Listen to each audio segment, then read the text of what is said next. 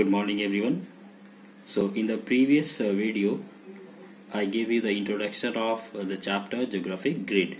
So today we will start this chapter chapter 3 geographic grid is a network of parallels of latitude and meridians of longitude.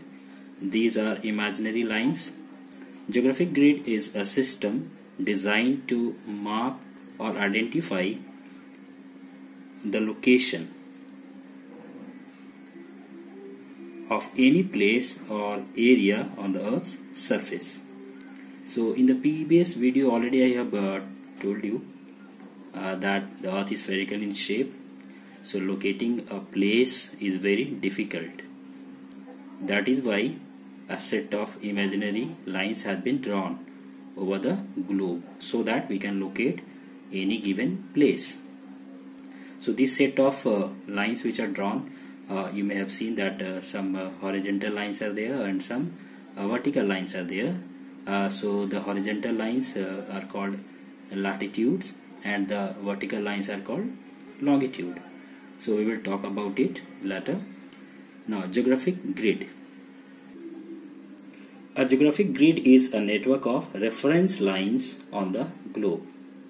In the previous video already I have told you about that reference line that uh, to locate a place or to find out the distance of a given uh, place from another one uh, we need a reference line okay? So a geographic grid is a network of reference lines.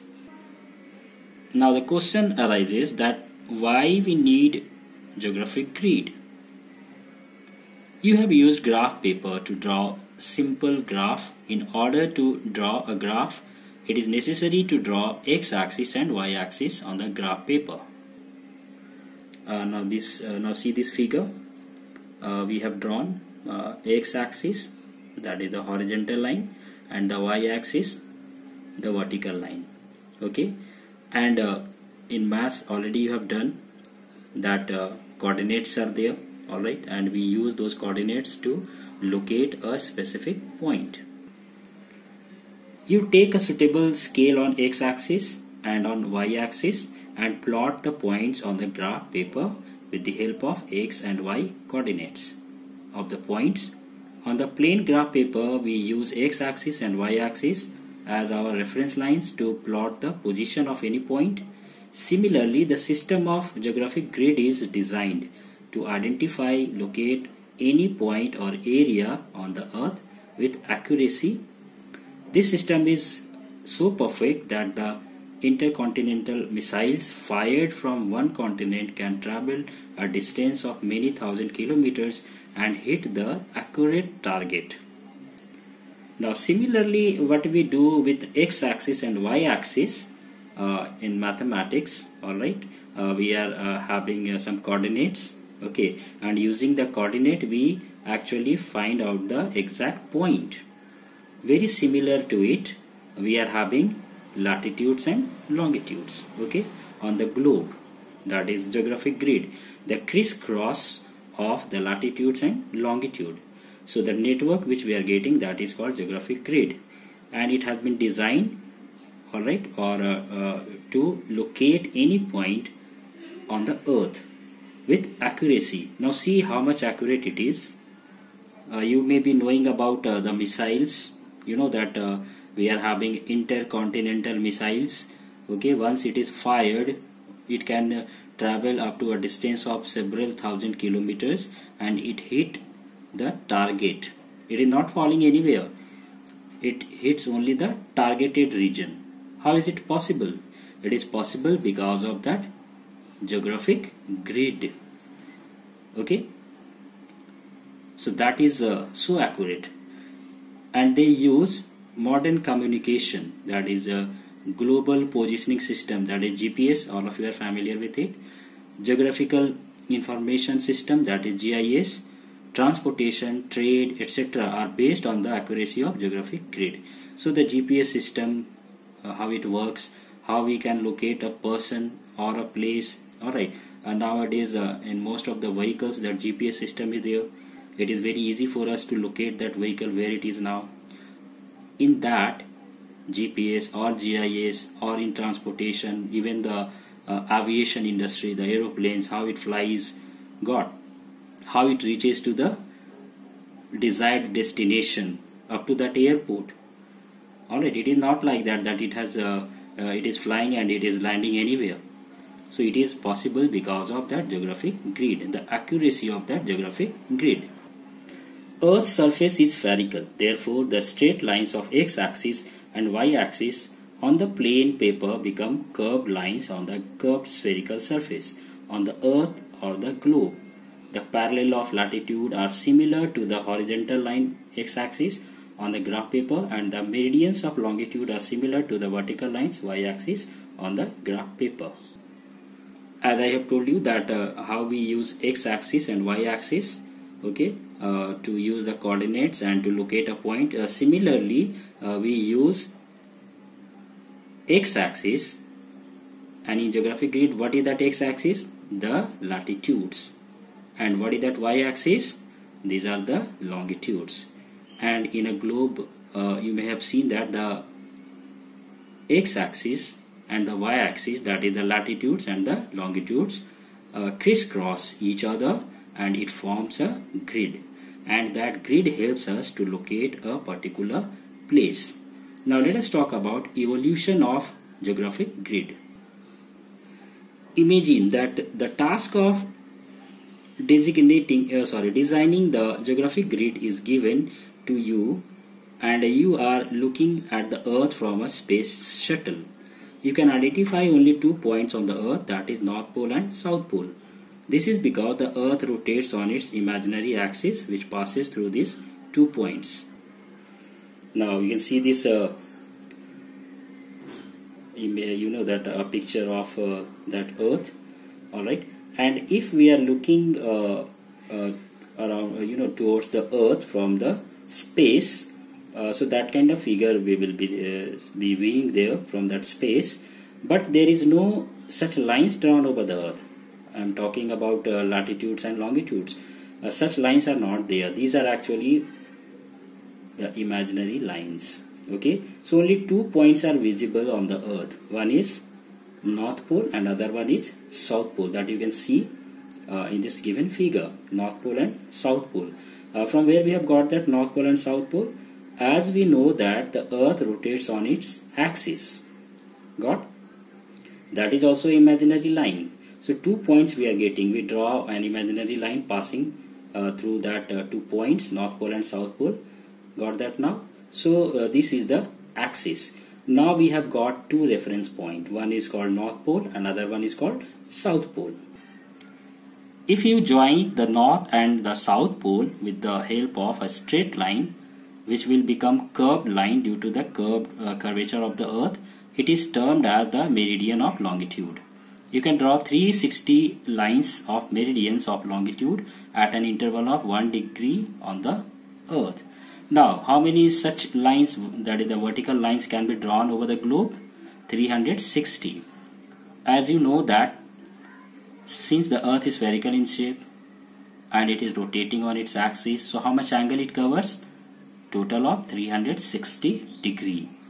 Got?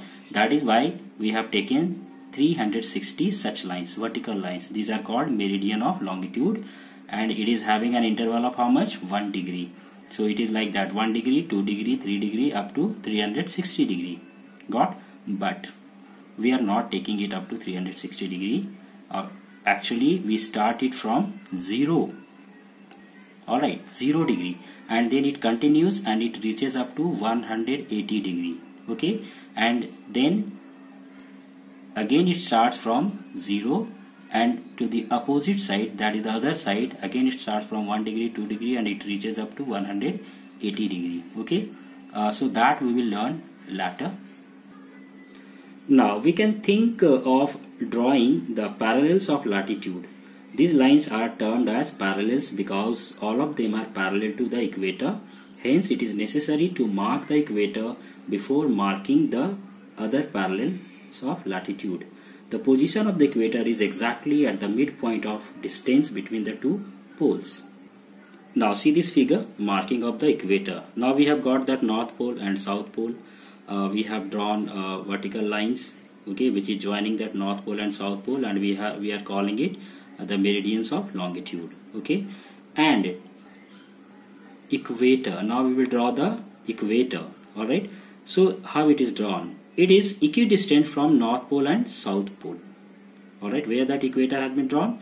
It is a line which is uh, just dividing that north pole and south pole. North pole and south pole it doesn't mean that it is dividing the north pole and south pole. It means that it is dividing the distance exact distance between the north pole and south pole.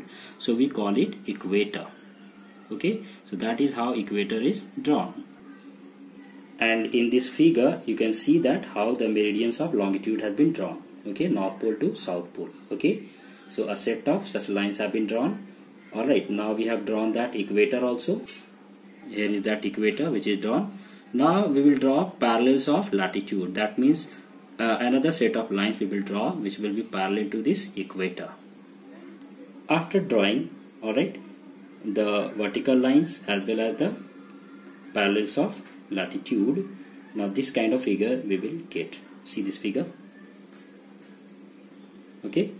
Now you can see that the latitudes and longitudes are crisscrossing each other. Alright and you can see a, a certain uh, uh, quadrilateral figure has been drawn. Okay some uh, uh actually it is a, a square. Alright so you can see that square there and these squares are actually the grid. Okay? After drawing the equator we draw curved lines of circles parallel to the equator. They become parallels of latitude. The equator is 0 degree latitude. Okay? And uh, hence we can draw a total of 181 parallels of latitude. 90 towards the north pole and 90 towards the south pole. All right that means 90 towards you know the upper part of that uh, equator and 90 towards the lower part of the equator. So 90 90 180 and then 1 0 degree. So it become 181 so how many parallels of latitudes are there? 181 and all of them are having an interval of 1 degree. Okay? Now we have got uh, a network of meridians of longitude and parallels of latitude on the earth which is also termed as graticule that is a geographic grid. Now let us talk about the concept of latitude. Latitude of a place refers to one particular point on the earth while the parallel of latitude refers to the line passing through the places having the same value of latitude. So what is uh, latitude of a latitude of a place? It refers to one particular point on the earth where that place is located. And what is that parallel of latitude it means the line which is passing through the places which are having the same value of latitude. Okay? Now you can see here 30 degree north. Okay? That is parallel of latitude line. And 30 degree south. That is latitude point. You can see a point has been shown there latitude point. Okay? You can see a black dot. And 30 degree north no such black dots are there. It shows that uh, wherever that line is passing 30 degree north okay? Now see that 30 degree uh, north line? Wherever it is passing through all those places all those points are having a latitude of 30 degree north. Got? In order to understand the concept of latitude, it is necessary to understand the concept of the equatorial plane. If we cut our earth along the equator into two halves, we will be able to get the get two hemispheres that is northern and southern hemispheres. Now see this figure. Okay, what we have done here? Uh, we have cut the earth exactly into two halves. From the equator we have cut it into two halves. Okay so we are getting two hemispheres that is uh, uh, two uh, you know that when we cut a sphere into two halves we call it hemisphere so we have got two hemispheres northern hemisphere and the southern hemisphere so in a way we can say that equator divides the earth in exactly into two halves northern hemisphere and southern hemisphere. Now if we take the southern hemisphere the flat surface bounded by the equator is the equatorial plane. So what is that equatorial plane? When we take one of the hemisphere alright and the flat surface bounding that equator is called the equatorial plane. Now see this figure okay center of the earth you can see there equator you can see equator it is written there. And the line okay that line the equator. All right you can see the equator. That is equatorial plane okay. And that whole part is called southern hemisphere. That is how we can take that northern hemisphere also. Now suppose if we want to mark 30 degree latitude, we can measure angle of 30 degree from the center of the earth from the equatorial plane in vertical plane. Okay. Now we are taking 30 degree from here. Okay. So the line which we will draw there, alright, that will be 30 degree north. Understood? Now if we draw the boundary of the northern hemisphere, it will in intersect the angle of 30 degree and the that point of intersection is 30 degree north latitude. Now see we have drawn that other half also northern hemisphere. Now we have drawn that 30 degree and where it uh, touches the boundary of that earth that specific point is called 30 degree north. Understood? To draw the parallel of uh, latitude of 30 degree north Simply draw a line from the latitude of 30 degree north parallel to the equator. Okay, so that is how we draw it. So now we can uh, define that uh, latitude uh, like uh, that also that it is the angular distance of a place north or south of the equator. Okay, what is that uh, latitude? It is the angular distance of a place north or south of the equator. In the next video, we will talk about some other important information about the main latitudes. Okay, so you read this chapter, alright, and if you are having any doubt uh, through the dashboard, you can ask me that question. Thank you.